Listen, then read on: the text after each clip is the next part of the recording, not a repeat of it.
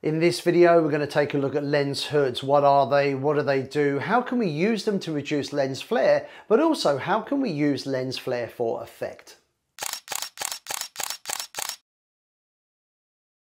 Hi, Paul here from Photogenius. Now, if you're new to the channel, I post weekly photography tutorials, I share photography tips, tricks, and do occasional gear reviews as well. So if you enjoy this video, please consider subscribing.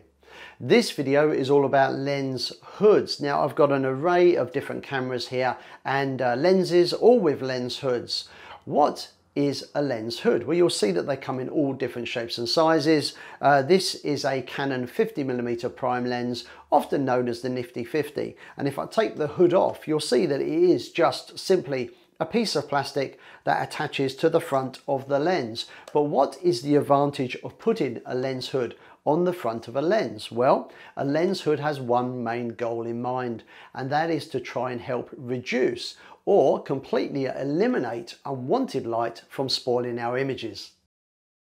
Now, if you've ever taken an image and wondered what those annoying streaks and circular blobs of light are that run across your image, this is almost certainly going to be lens flare.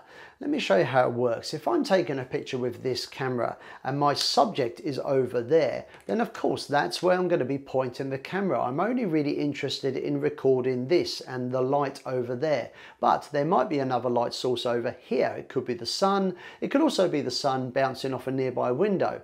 Now this light, if it skims across the front of the lens, can bounce around and cause lens flare.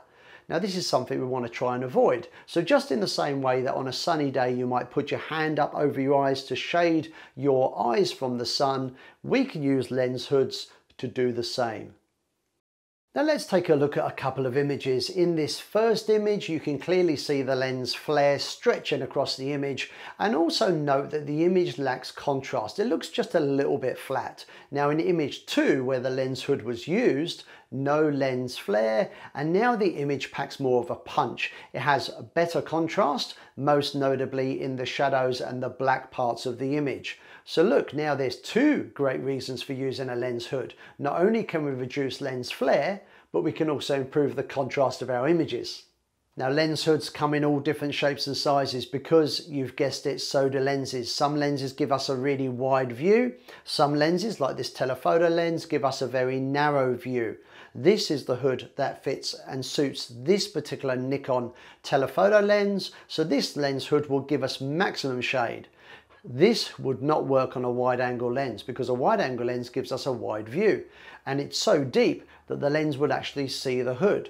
So lens hoods are lens specific. Now you may have been lucky when you brought your gear, you may have got a hood with it. These days, most often you don't. So with this 18 to 55 kit lens, I had to buy the lens hood separately. And to pop the lens hood on couldn't be easier. It just pops on the front like so, twist to lock, and you're ready to go.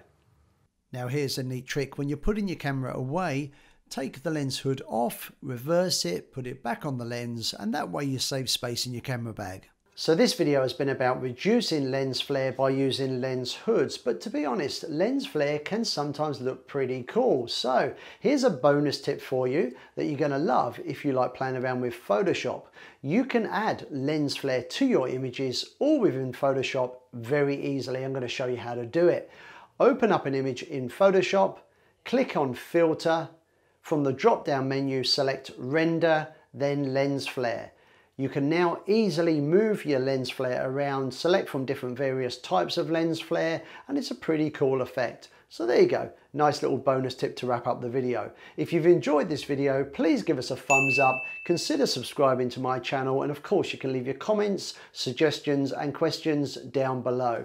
I hope to see you again sometime soon. See ya, bye.